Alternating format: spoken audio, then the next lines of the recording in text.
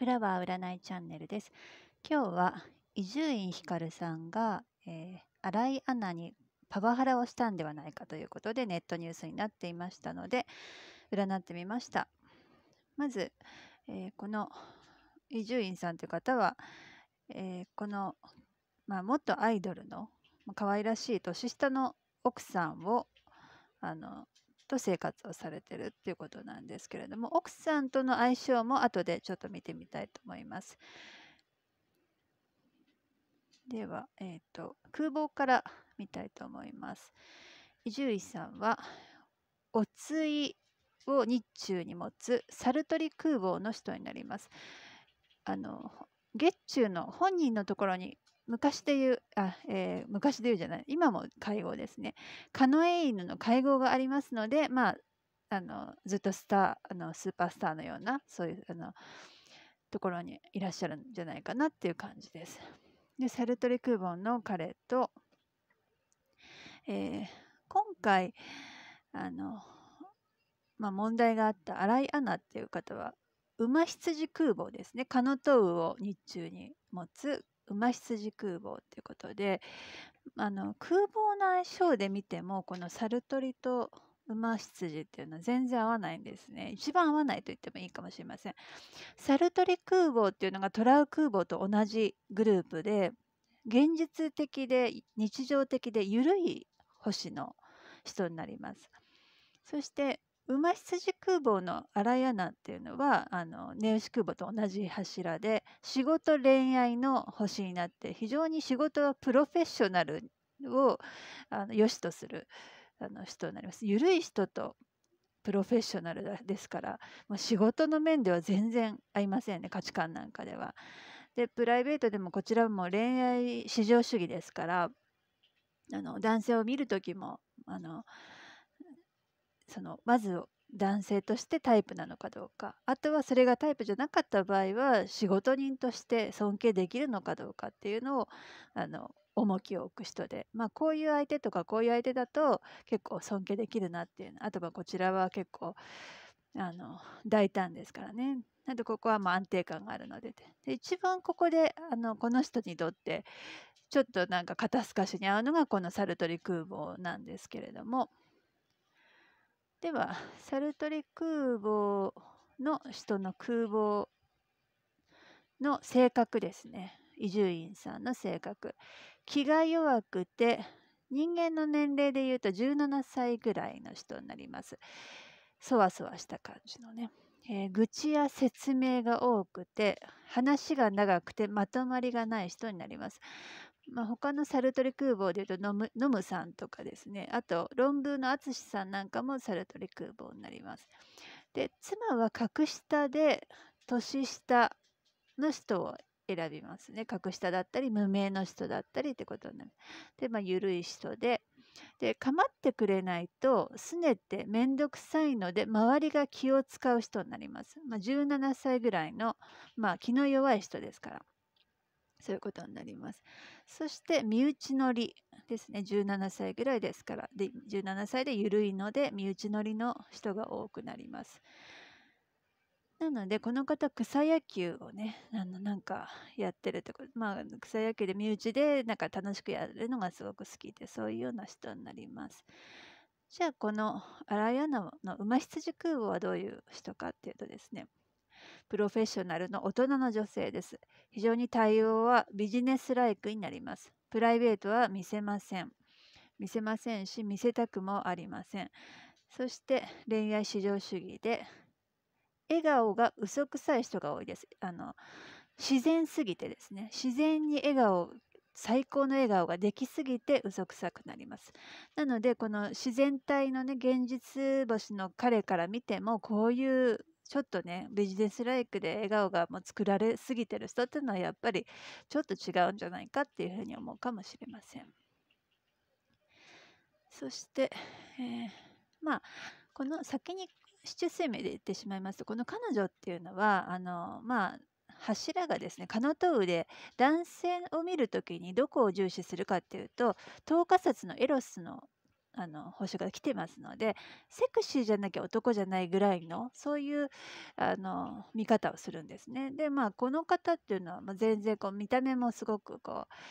あのなんていうかねあのふくよかでセクシーさっていうのは全然感じられませんし名式にもセクシーさっていうのがちょっと見えてこないもんですがまあそこでも罰だと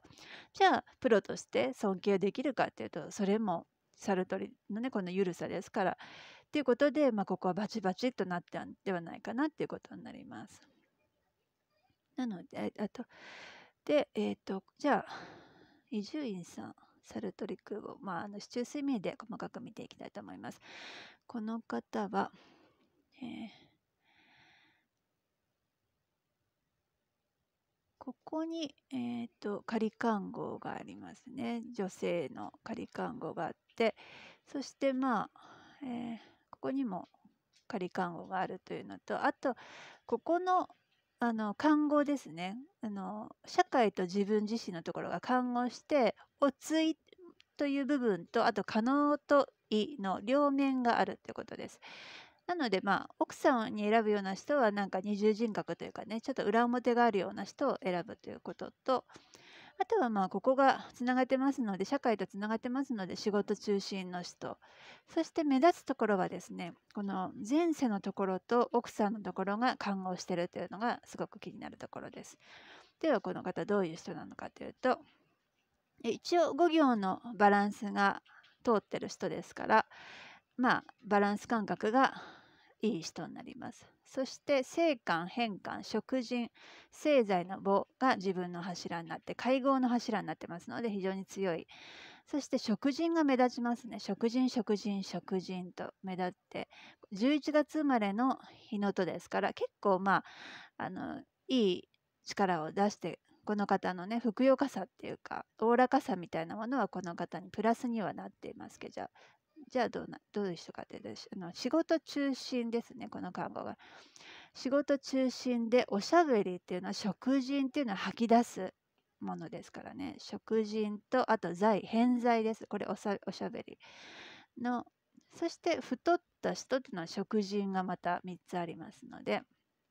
そしてリーダー格っていうのはここの性感と変換が通ってるということです。なのでちょっとまあ性感と変換が同じ柱にあるということでちょっと理屈っぽくなるなっていう上から目線でっていうのでモラハラっぽくなるっていうこともありがちですねこれ名式見ると。そして、えー、じゃあこの方どういう奥さんを選ぶのかっていうとですね、まあ、前世からの縁の女性そして、えー、生罪、合罪、陰樹の死になりますので、陰樹ですね。お母さんっぽい人。そして強くて合罪、生罪ですね。そして死がおとなしいです。ネクラで。そしてここは仮看護してますので、棒が落ち着きです。そういう人で。そして、まあ、この方は、あの、もう、この奥さんを見た時に、もう一目惚れなのかなんか知らないですけどこの方にあの彼氏がいたってことなんですけどそれでも諦めずにあの彼氏と別れたら連絡くださいって言ってねそれで見事ものにしたっていうそういうロマンチックなエピソードがあるんだけれどもなのでやっぱそういうとこ見るとあのこういう前世からの縁をビビビと感じてもうどうしてもこの彼女じゃなきゃダメだったっていうあのそういう感じじゃないかなと思います。ただこの方っていうのはすごい冷めた人でねあのロマンチックになんか夜景かなんかのところでプロポーズしようと思ったらもうなんか山奥に連れてかれて殺されるんじゃないかって思ったなんてねそういうエピソードが書いてありましたけれどもじゃあこの辰巳空母の彼女はどういう人なのかっていうとですね、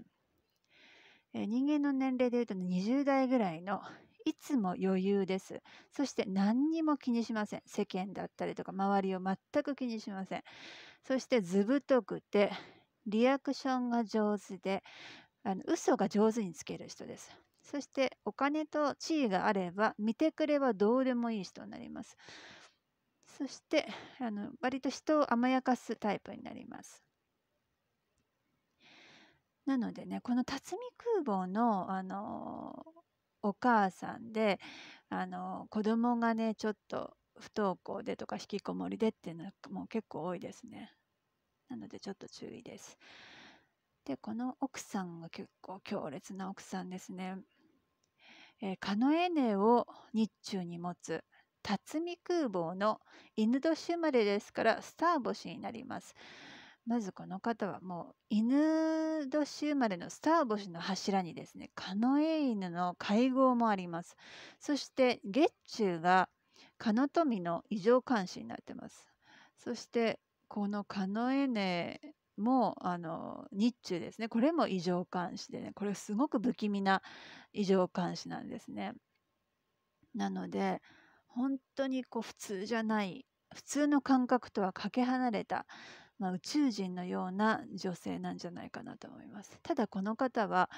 あのもう名式に被験と合罪がもう目立ってますね。こう合罪被験合罪被験と。なのであのそして看護もないので基本的にあの見た目は普通にあの綺麗なんですけどちょっと男がない人なのかなっていう感じ、まあ、変化はここにありますけれどもね変換性感っていうのあるんだけどちょっと正確に難ありというかあの偏りすぎてて男性が逃げ出すようなタイプなんではないかなと思います。そしてじゃあこの方どういう人かというと合罪変因被験変換の調整です、えー、昔でいう悪魔星と言われている変換と変因がこれだけ目立った感じでありますので、まあ、この人どういう人かというと旦那の面倒を見ることが生きがいの人になります。もう自分自身というよりはあのこの方の5月生まれの夏運のあの彼女にとってはこの根がもう全てです。あの配偶者の場所にある根がこれですね。これもう本当にこの方にとって本当にありがたくこのこれが生きてると言っても、まあ、このおかげで生きてると言っても言い言い過ぎじゃないぐらいのあれですね。でじゃあまあご主人はどういう人かっていうと一応セクシーな星あるんですけどここはちょっとうんって感じですね。であの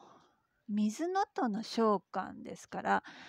止めどなく流れる悪口を言う旦那ってことです。なのでこの彼ぴったりですよね。なぜそうなるかっていうとですね、止めどなく流れるというのは水の音ですよね。で、召喚っていうのは口がとにかく悪いです。悪口ってことです。そして死があのおとなしいですから、暗かったりとかおとなしい。で実はこの方って普段はまあおとなしい人なんだけど、口を開けば悪口がいっぱいポンポンポンポン出てくるっていうのはですね、このサルトリ空母の特徴でもあります。愚痴とかね、そういう話がとても好きでね、噂話じゃないんですけれども、なんかね、そういうこう不平不満がちょっと出やすい人になります。なぜかというと気が弱いですからね。あのあの人にあんなことされて、あんなこと言わ、あの、ね、されて自分はこう我慢して何も言えなかったみたいなところから出てくる愚痴になります。そしてですねまあ、この方の経歴みたいのをウィキペディアで見たんですけれども、すごいですね。こちらがちょっと一番びあのびっくりしたんですけど、まあ、高校中退であの婿入りをしていてねこの女性に婿入りをしていて草野球をやっていて、まあ、昔不登校だったところを落語にあのお父さんにね落語を勧められたっていうところは、まあ、草野球はスポーツの星のサルトリですしあとは不登校っていうのは、まあ、あのこの時期67年生まれの人のね時代って不登校とか流行ってましたよね。あと高校中退も流行ってましたし一番学校が荒れてる突っ張りとかが多かった時代ですからそしてこの方のサルトリ空母一匹狼ですからまあそういうふうにあの逃げじゃないですけどそちらの方に行ったのかそしてまあこの人間関係がずらっとものすごいんです。えー再三ですねこのサルトリ空母とトラウ空母が相性が同じグループが相性がいいですよってサルトリ同士トラウとサルトこういうふうに相性がいいですよっていうふうに言ってるんですけれどもなんとですねこの方はずらっとっていう感じです。えー、まず、えー、円楽さんに弟子入りをして、まあ、すごく仲良しだってことなんですね。でこの円楽さんっていうのも、えー、寅年のサルトリ空母のスター星になります。そして、えー、永田守プロデューサーという方に引き抜きにあったってことなんですけどこの方もサルトリ空母なんですね。もうこういう、えー、こういうことです。まあ見せなくてもいいかな。このサルトリ空母で。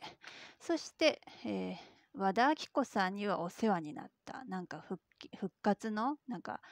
時にお世話になったっていうことで仲良しでこの方も和田アキ子さんっていうのもサルトリのスター星そして、えー、このラジオでねずっと15年ぐらいあの一緒にあのやってたアシスタントの竹内アナという方もですねサルトリ空母なんですね。もうすごく尊敬していてこの方もこの人を尊敬していてでこの方も可愛がってるってことでそしてもうこの、えー、上柳正彦アナウンサーっていうんですかねこのこの人に伊集院のあの相方と言われたっていうことなんですけどね。それぐらいのまあ息ぴったりのあの人だったっていう。で、まあ、これを言ったあの彼もトラウ空母なんですね。こここことここの関係ですから。そしてまあこの方音楽でいうと安室奈美恵さんのファンだっていうんですね。安室さんもサルトリ空母の会合の人でねすごく非常に強い人だったんですけれども。まあなのでまああのこの奥さんとの相性がですねそんなに良くないんですよね実はやっぱり。サルトリと辰巳ですから。全然こうすれ違う。ただこのあのこういうね見てくれのあの男性につくこの辰巳っていうのはすごく多いんですよこのカップルっていうのは。あのどういうことかってですねやっぱりこういう見てくれでもいい全然いいですよって言ってくれるのがこの辰巳のおおらかさなんですよね。なのでくっつくんだけどあのこのサルトリの例えば女性だったりするとまあ友達としてはもう本当に楽しいんだけど恋愛関係じゃ全然ないよねっていうあの間柄になってしまうのでなのでまあどういうことかっていうとですねあの夫婦は相性が別に良くなくてもいいですよって。でただ、まあ、他の人間関係でカバーしましょうっていうことなので、まあ、この方が見事にそれをねあの体感されてるんじゃないかなっていう感じです。あの奥さんとは、まあ、相性が良くない相手ただまあね一緒にいて、まあ、楽しい面もあり寂しくもない相手と一緒にいて微妙に話が合わない部分はですねあのお仕事だったりとかそういう交友関係で十分カバーしてこの人は楽しんで生活を送ってるというそういうような感じで。なのでまあ最初に戻りますけれどもこのあの和気あいあいとした人間関係の中にですねこのあのまあトラブルのあったアナウンサーのようなビジネスライクの大人な感じのねあのそういうピリッとした人が入るのはちょっとこの方が我慢できなかったんじゃないかなっていうそういうことです。今日は以上になります。最後までご視聴いただきありがとうございました。よろしければグッドボタンとチャンネル登録お願いいたします。フラワー占いチャンネルでした。